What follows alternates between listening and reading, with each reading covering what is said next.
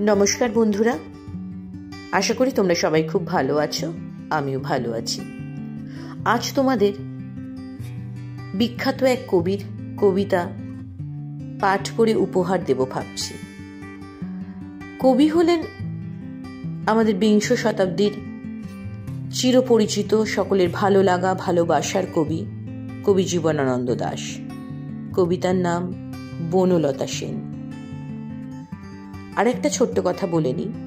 সেটা হচ্ছে, যাদের আমার আবৃত্তি ভালো লাগবে, অবশ্যই একটা লাইক দিও, কমেন্ট করো।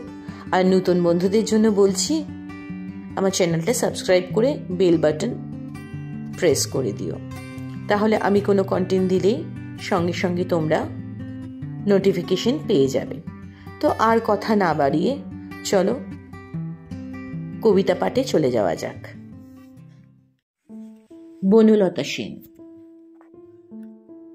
হাজার বছর ধরে আমি পথ হাঁটিতেছি পৃথিবীর পথে। সিংহল সমুদ্র থেকে নিশীতের অন্ধকারে, মালয় সাগরে।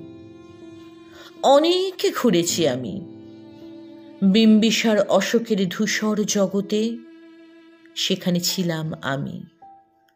আরও দূর অন্ধকারে বিদর্ভ নগরে আমি ক্লান্ত প্রাণ এক। চারিদিকে জীবনের সমুদ্র সফেন। আমারে দুদণ্ড শান্তি দিয়েছিল নাটোরের বনলতা সেন। চুল তার কবেকার অন্ধকার বিদিশার নিশা মুখ তার শ্রাবস্তির কারুকার্য।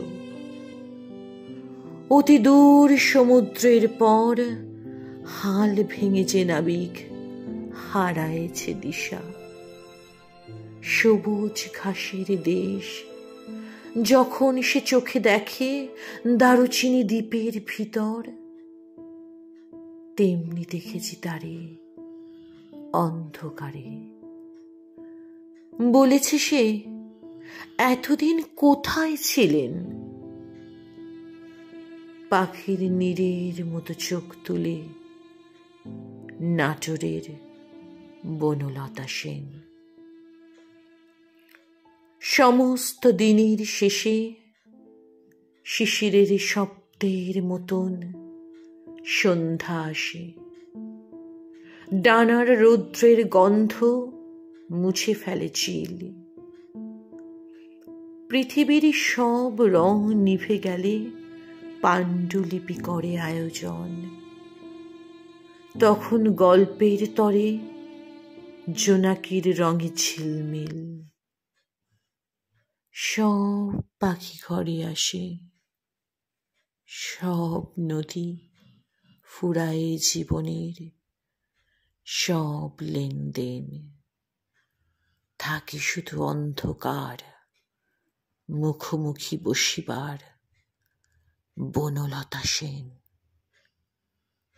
নমস্কার।